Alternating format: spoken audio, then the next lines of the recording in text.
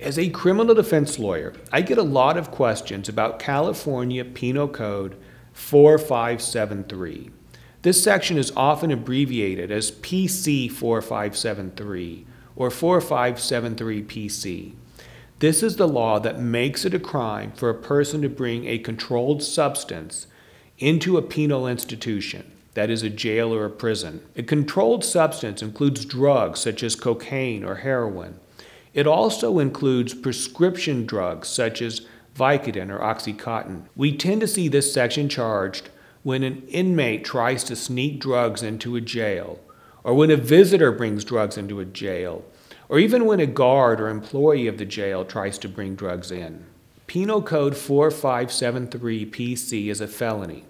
A person convicted can face up to four years in jail or prison. If the defendant is already serving time, this can be added to their existing sentence. So it's a serious offense. That said, here at Shouse Law Group, we've had a lot of success in helping people fight and beat this charge. It may have been someone else who brought drugs into the facility, but you got blamed for it. It may have been an accident where you went into the jail but didn't realize you had drugs in your possession. Or the authorities may have found the drugs by committing an illegal search and seizure. If you or a loved one has been charged with violating Penal Code 4573 PC, we invite you to contact us here at Shouse Law Group. Our legal team may be able to get the charges reduced or dismissed.